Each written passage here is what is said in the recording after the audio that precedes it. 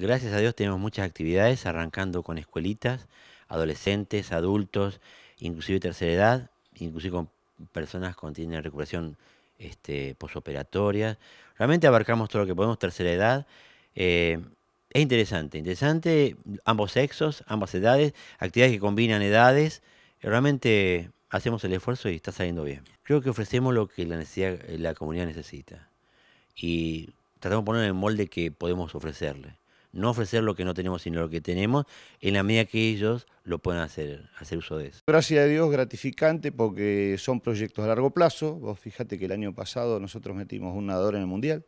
Eso hace ocho años que estamos trabajando en eso. Tenemos a Mayra Arias en patín que va a correr el décimo mundial. Estamos hablando del décimo mundial, creo que es la única deportista de la historia a nivel nacional y mundial. Y realmente uno dice décimo mundial como si fuera tomar un café.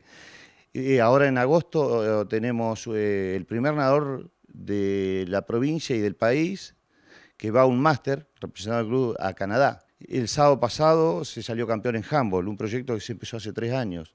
Estamos, eh, tuvimos cuatro finales de hockey. O sea, los resultados a largo plazo se van dando.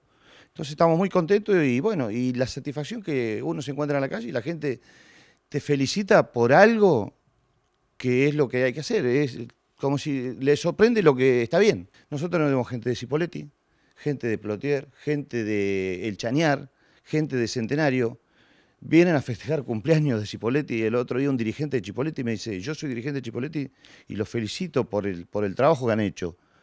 Eh, y bueno, y también contamos con mucha gente que trabaja en el club, coordinadores, profesores de, de larga trayectoria en otra actividad, que hace 15 años que están con el club. Entonces, un proyecto que empezamos de tres años, hoy tienen 18, hoy tenemos un Agustín Hernández, pero ¿qué es lo bueno de Agustín Hernández? Que atrás vienen cuatro más seleccionados. O sea que tenemos trabajo eh, en lo deportivo para 10 años más.